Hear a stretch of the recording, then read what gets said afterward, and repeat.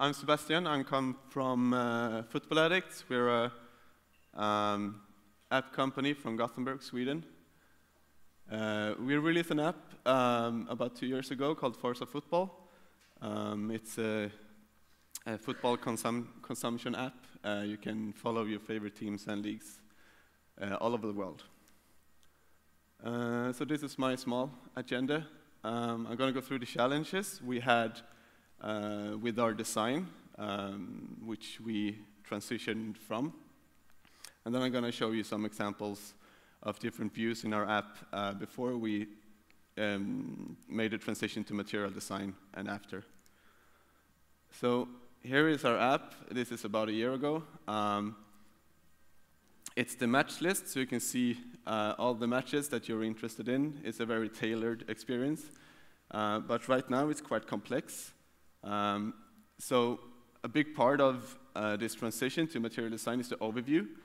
So here it's a bit hard, I think, to, to find the, the cherries uh, that you would like to get out of this view. It's quite hard to uh, like get a short glance of, of, of the small things, uh, and that was a thing we wanted to change.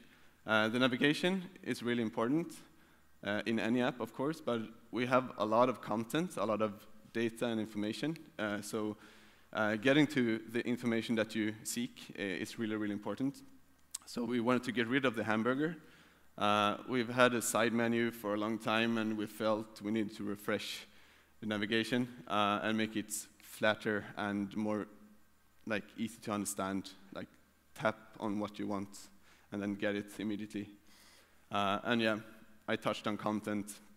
It's really important that the, the content you care about pops up in your eyes when you when you use the app. Um, yeah, so here are different screens uh, we had before we did the uh, redesign. So in the middle here, you see the team page. Um, so I think it's quite hard to, like, we, we made so many iterations of different kind of design standards. So you can see a little bit of both. We have the iOS style toggle button, which doesn't really fit, I think. And we have different colors. We have some kind of accent color, but we didn't really know what that meant back then. Um, and yeah, also the league page here with the flag and everything. We wanted a more consistent experience, and yeah. So this is what we came up with uh, after the redesign. Uh, we do realize that this is a work in progress. Like, you're never done with redesigning the app, so uh, yeah, we can always improve stuff, but if we focus on the match list, we try to uh, make each match feel more important. Like football consumers, they care about results. That should be the, the focus here. We try to reduce the size of the, try to make it a more compact uh, navigation. The hamburger is gone. And yeah, we just try to make everything more uh, like easy to understand and not get in your way. And also, the team pages on, and the league pages right now are uh, like flying up, and you can swipe them away if you, if you don't care anymore. Uh, so we have some paper analogy going on there, uh, and the compressing of the, of the toolbar. I could have an animation here if I knew Google Sheets better. But uh, yeah, you get the point, I think.